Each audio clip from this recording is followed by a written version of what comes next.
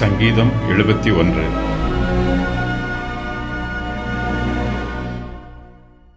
துதித்து ஜெபிக்கும் ஏழாவது சங்கீதம். தாவீது தன்னுடைய முதிர் வயதில் எழுபத்தி ஒன்றாவது சங்கீதத்தை எழுதுகிறார். தன்னுடைய சொந்த பிரச்சனைகளைப் பற்றி தாவீது இந்த சங்கீதத்தில் கர்த்தரிடத்தில் அதிகமாய் சொல்லவில்லை. தேவனுடைய ஜனங்களுக்காக பொதுவாக விண்ணப்பம் பண்ணுகிறார். அவர்களுடைய பாடுகளிலும் நெருக்கங்களிலும் தேவன் தாமே அவர்களுக்கு உதவி புரிய வேண்டும் என்று தாவீது கர்த்தரிடத்தில் ஜெபிக்கிறார்.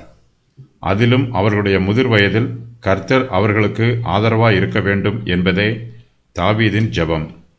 இயேசு கிறிஸ்துவின் விசுவாசிகள் முதிர் வயது உள்ளவர்களாய் இருக்கும்போது இந்த சங்கீதம் அவர்களுக்கு மிகுந்த ஆசீர்வாதமாய் இருக்கும்.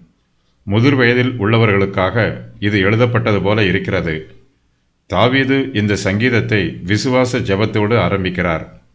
கர்த்தர்தாமே தன்னை காத்தருள வேண்டும் என்றும் ரட்சிக்க வேண்டும் என்றும் விசுவாசத்தோடு ஜெபிக்கிறார்.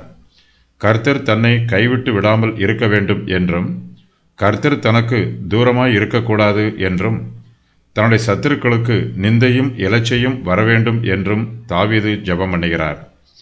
தாவீது தேவனிடத்தில் வைத்திருக்கிற விசுவாசத்தை மறுபடியும் உறுதி பண்ணுகிறார்.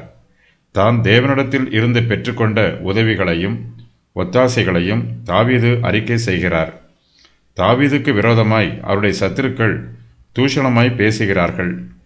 தாவீது இந்த சங்கீதத்தை கர்த்தரை துதிக்கும் துதியினால் நிறைவு செய்கிறார். தாவீதின் விசுவாசம் கர்த்தருக்குள் உறுதியாய் நிலைத்திருக்கிறது. தாவீதின் சந்தோஷமும் தாவீது கர்த்தரை ஸ்தோத்திரம் பண்ணுவதும் அதிகரிக்கிறது.